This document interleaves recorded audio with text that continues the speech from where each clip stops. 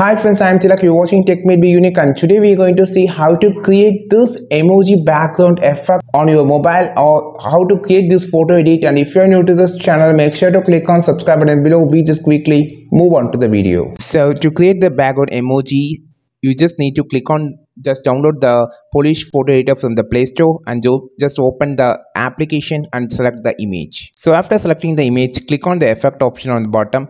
Now you will see a lot of option here. Just click on the neon option.